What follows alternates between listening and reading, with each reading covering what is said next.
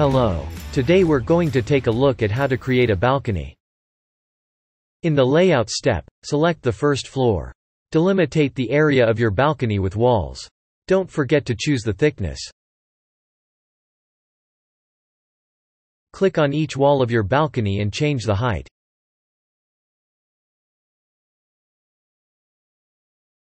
In Room Types, click on Balcony. In the Wall Openings step, choose the type of opening you want between the house and the balcony. In the Furnishings step, add railings and some furnishing for your balcony. To help, you can uncheck the icon collisions.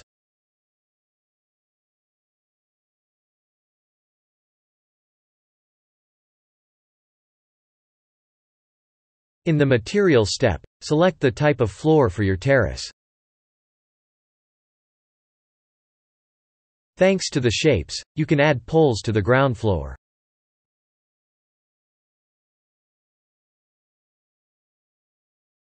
That's it. Now, it's your turn. You can contact us if you have any question.